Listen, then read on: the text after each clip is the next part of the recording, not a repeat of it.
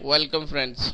Let us solve the first part of question number 4 of exercise 3.5 of chapter 3 and the question says form the pair of linear equations in the following problem and find their solution if they exist by any algebraic method.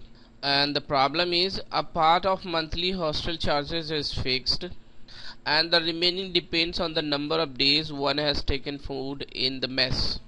And in case 1 when a student A takes food for 20 days she has to pay rupees 1000 as hostel charges whereas a student B who takes food for 26 days pays rupees 1180 as hostel charges. Find the fixed charges and the cost of food per day this is very important question. Let us solve it. In this problem we have to find the fixed charge. So we let the fixed charge is equals to rupees x and the cost of the food per day equals to rupees y. And here are the two cases given in the question. In case 1 when a student A takes food for 20 days she has to pay rupees 1000 as hostel charges. So in case 1 when a student A takes food for 20 days this is the case 1 and according to this case the equation will be x plus 20y because y is the cost of the food per day and and uh, the student A takes food for 20 days. So we shall multiply by with 20 and add the fixed charges in it. Then this charges is equals to 1000 so this is our equation number one.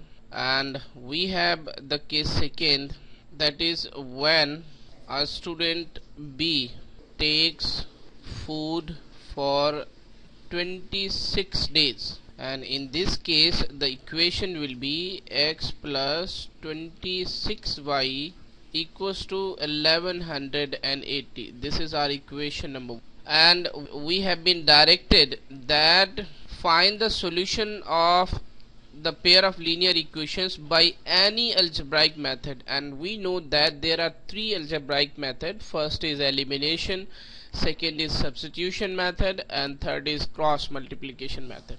So we shall apply here the elimination method. And in elimination method we first find the coefficient of any of two variables equal.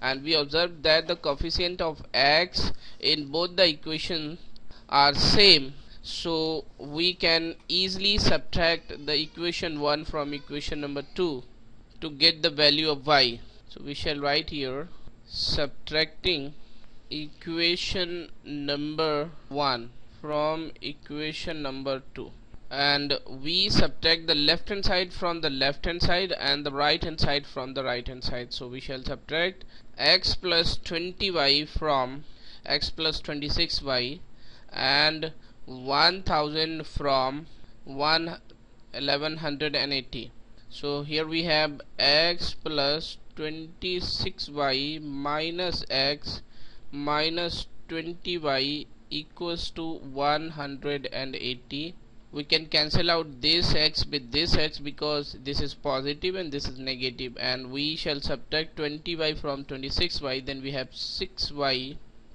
here we have 180 this means y is equals to 30 and now we shall substitute this value in equation number 1 or 2 to get the value of x. So we shall write here putting in equation number 1 what we get that is x plus 20 times 30 equals to 1000 here we have x plus 600 equals to 1000 this means we have x equals to 1000 minus 600 this means 400 so the value of x is 400 therefore the fixed charges equals to rupees 400 and the cost of the food per day equals to rupees